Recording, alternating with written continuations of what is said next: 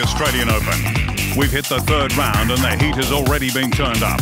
Hewitt's down, Pierce as well. Who'll be the next to go? Who will come out on top?